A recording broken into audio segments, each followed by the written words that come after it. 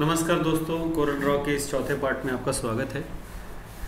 इस पार्ट में हम जानेंगे सेप टूल के बाद स्मग टूल का क्या इस्तेमाल होता है smudge brush tool smudge brush tool एक ब्रश की तरह काम करता है और स्पेशली जो है आपने, आप कोई अगर बॉर्डर बन, आपने कोई शेप बनाया है शेप के बॉर्डर पे काम करना चाहते हैं, या फिर उसके अंदर अगर आप काम करना चाहते हैं तो एक ब्रश की तरह क्या करता है कि उतने हिस्से को जो है वो ड्रॉ कर देगा डिज़ाइन कर देगा।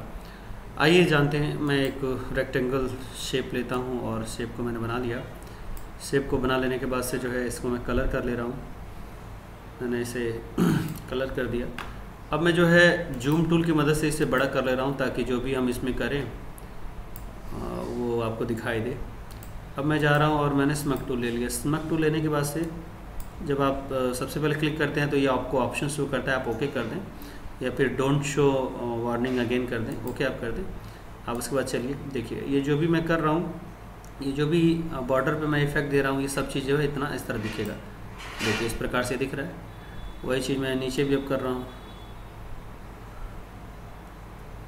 ये जो इस प्रकार से जो है आप इफ़ेक्ट देंगे तो आपको ये सारी की सारी जो है बॉर्डर पे आप इफ़ेक्ट दे सकते हैं और आप जो भी देंगे आपको, ये दिखाई भी देता है।